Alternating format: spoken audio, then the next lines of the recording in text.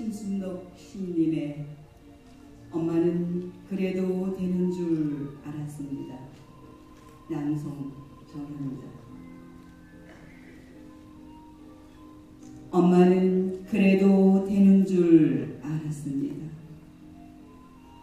하루 종일 밭에서 죽어라 힘들게 일해도 엄마는 그래도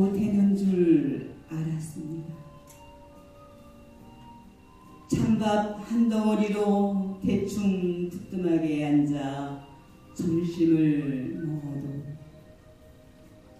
엄마는 그래도 되는 줄 알았습니다. 한겨울 냇물에서 맨손으로 빨래를 방망이질 해도 엄마는 그래도 되는 줄 알았습니다.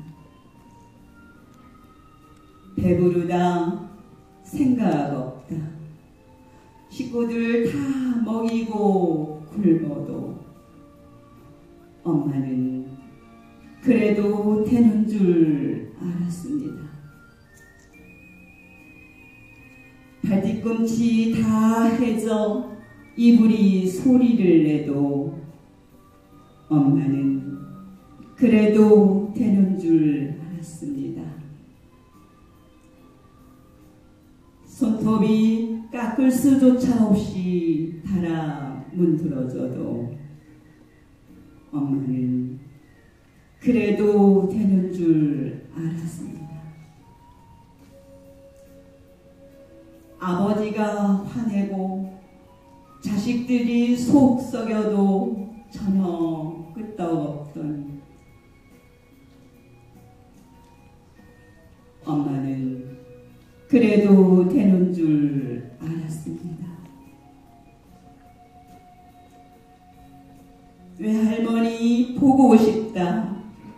외할머니 보고 싶다. 그것이 그냥 넋두린 줄만 알았더니 한밤중 자다 깨어 방구석에서 한없이 소리 죽여 울던 엄마를 본 후로